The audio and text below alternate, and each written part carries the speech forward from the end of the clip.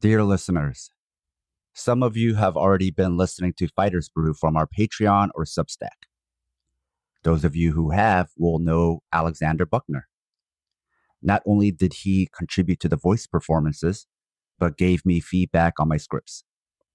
He's been a contributor and collaborator for Southpaw for years under various aliases, from Alex Buckner, your boy Lex, Hannibal Lennon Buckman, Avon Marksdale, R.N. Allday, Alex D. Xander, and I Made This to Stand. He's like pro wrestler Mick Foley with all the various gimmicks. And like Mick, Alex is also a Hall of Famer, but for Southpaw. Whenever I reference the Southpaw Project, you'll always hear me say we or us. Alex was part of that we and us. He is Southpaw.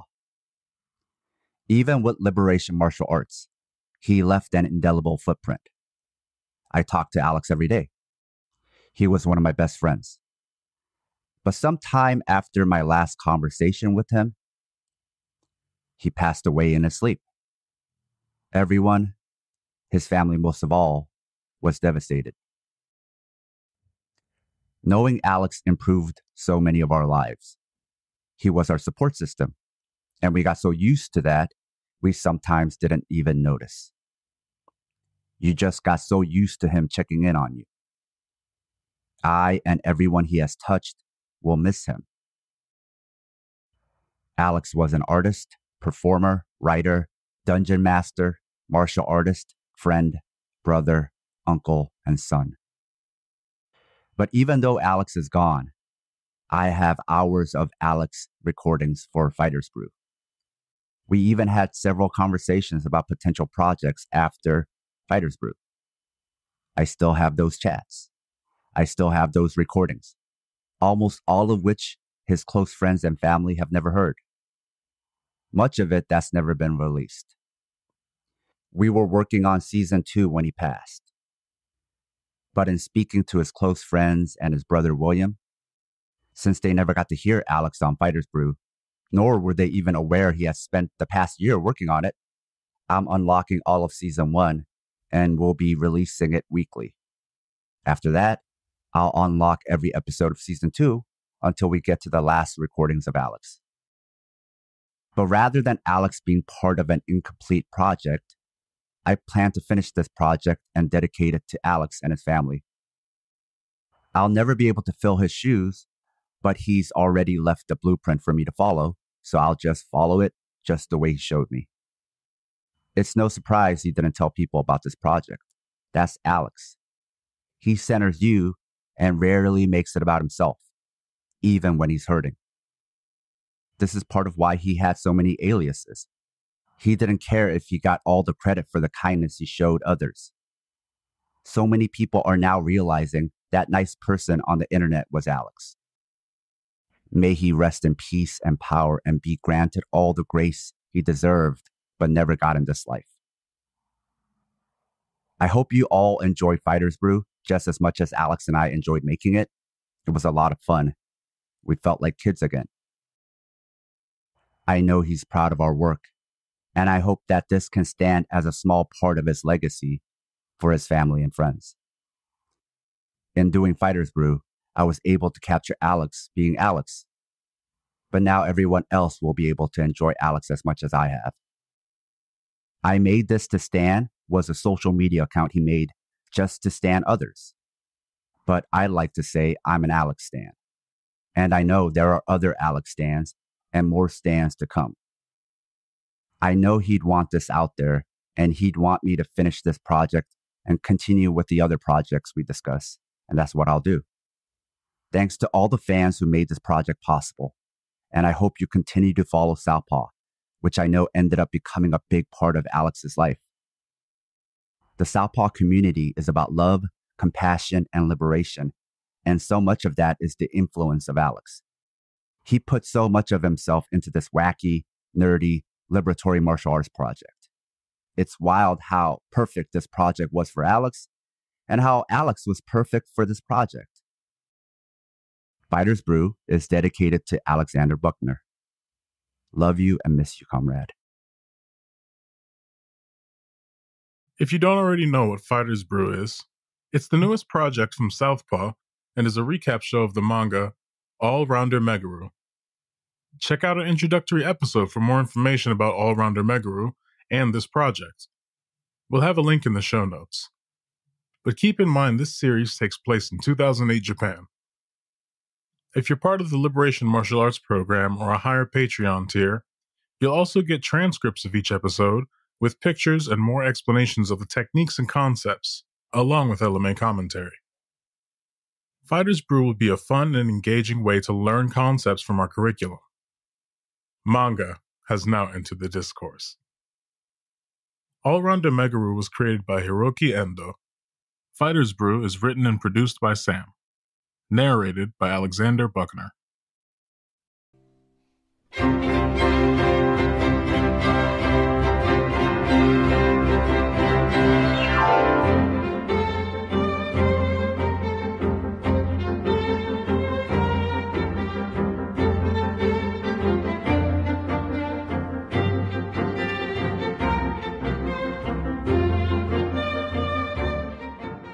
Fighters Brew, Season 2, Episode 1.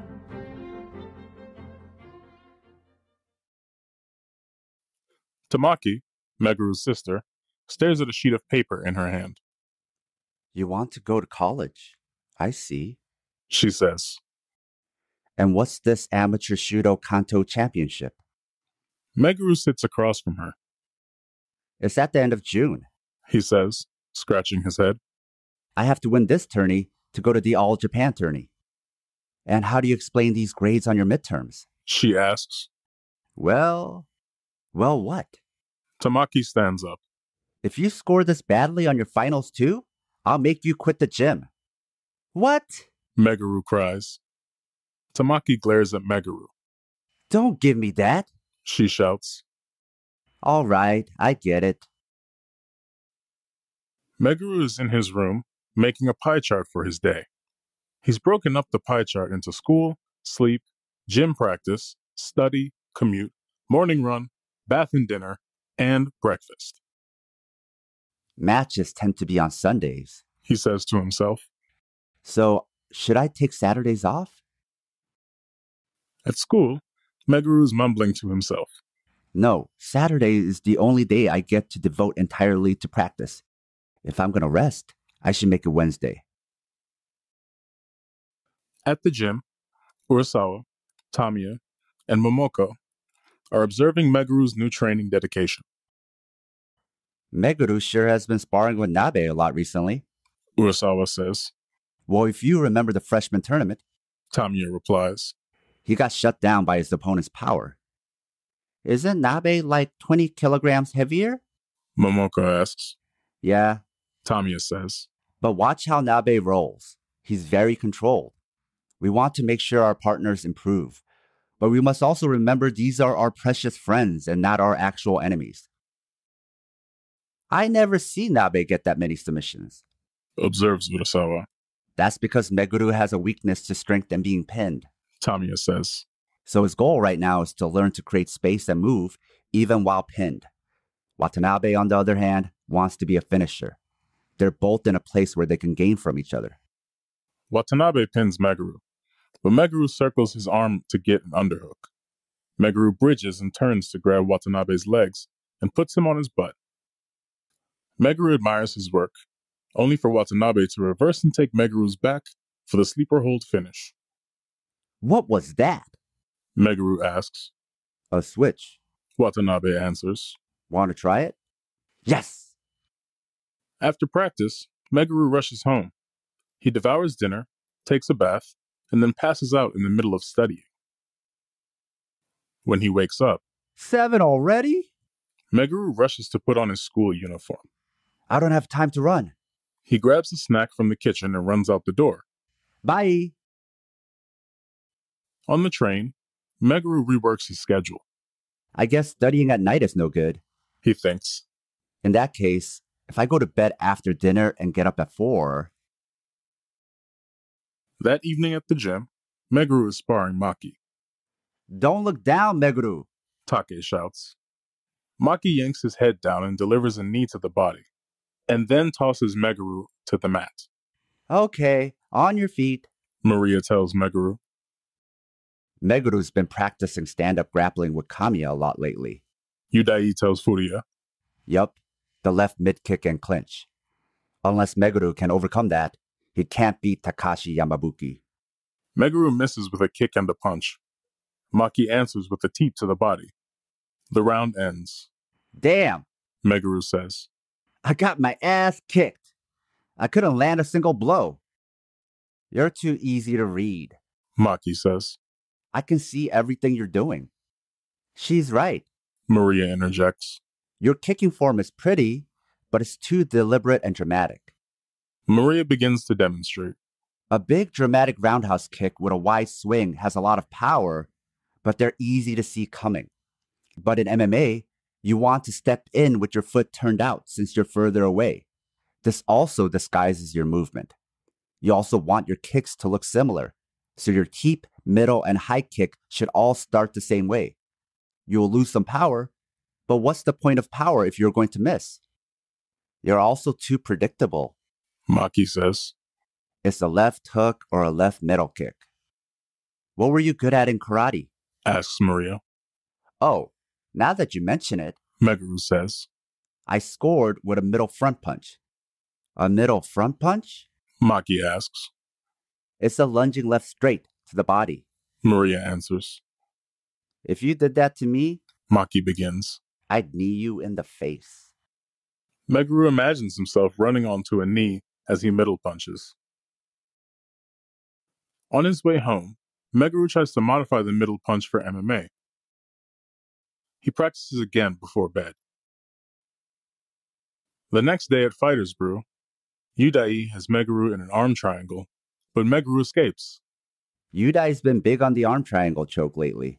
Urasawa observes. You lose position when you mess up an armbar. Furuya tells Urasawa. You can still stay on top if your arm triangle gets broken. Momoko watches and takes mental notes. As Meguru and Yudai fight each other for grips, Meguru grabs Yudai's thigh and executes a switch, taking Yudai's back. Wrestling with Watanabe is paying off. Yudai tries to spin and land on top, but to Yudai's surprise, Meguru transitions to an armbar. It's sunk deep, but Yudai won't give up and spins to escape. Snap! Meguru, Momoko, and Furuya all notice the sound. The round ends. Yudai. Meguru says hesitantly. What? Yudai responds, I heard something tear. says Meguru. It was nothing. Yudai replies as he walks off. Furuya and Momoko both look on. The next day, Meguru and Watanabe are sprinting up outdoor stairs. Watanabe has a short notice fight in Nagoya to replace an injured fighter. He has two weeks to prepare and get under 77.5 kilograms.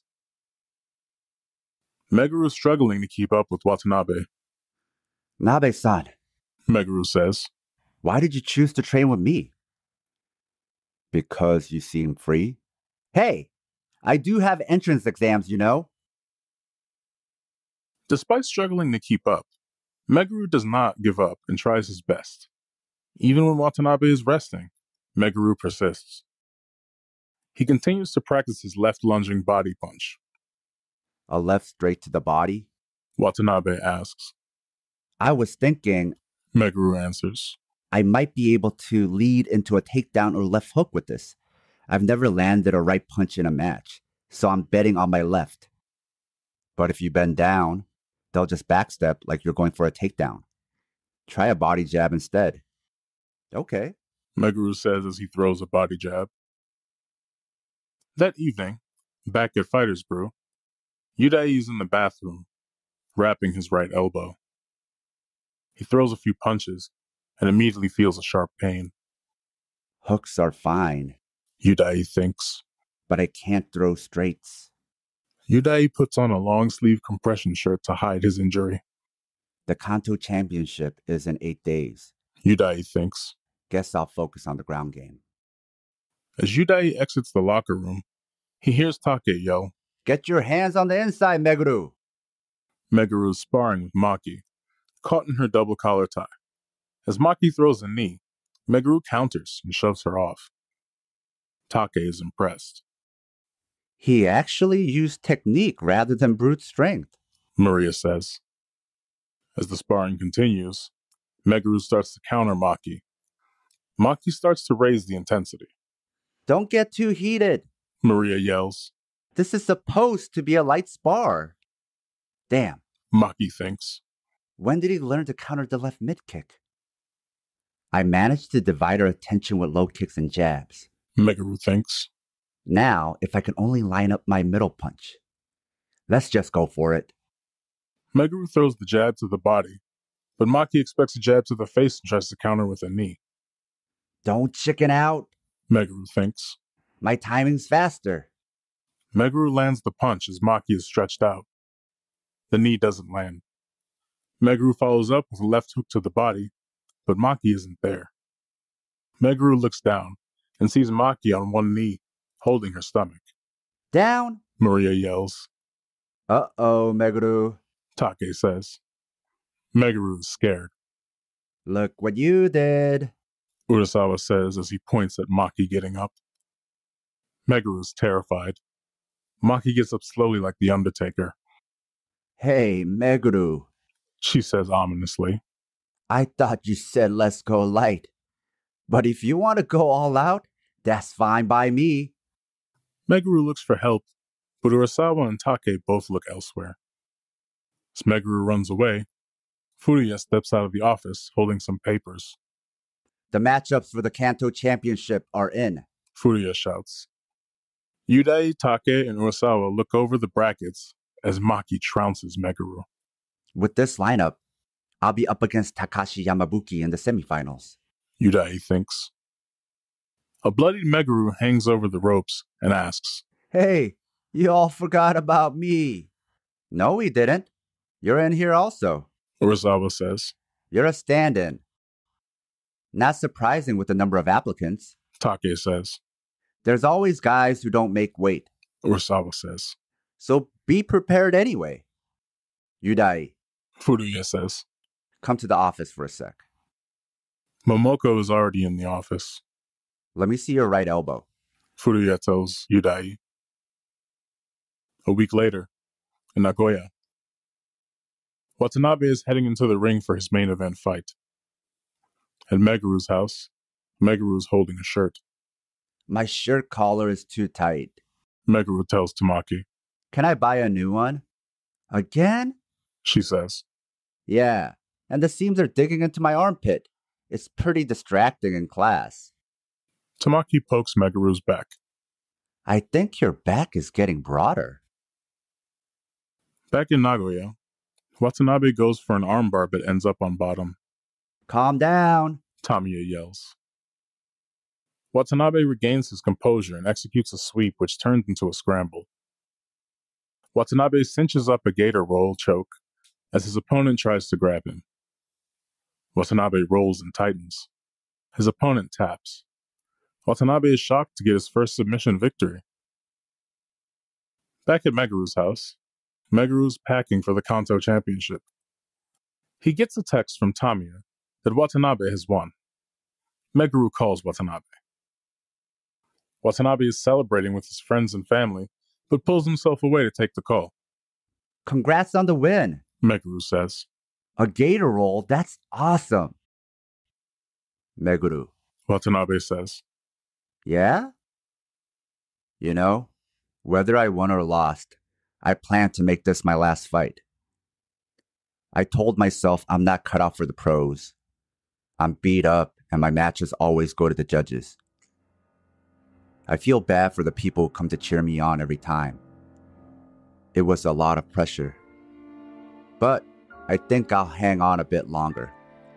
Tonight, I felt really grateful for all my fans and everyone who trained with me. Really, Meguru, thank you. Meguru is lost for words. Trust me, Watanabe continues. you're getting stronger. Go to the championship tomorrow with your chest held high.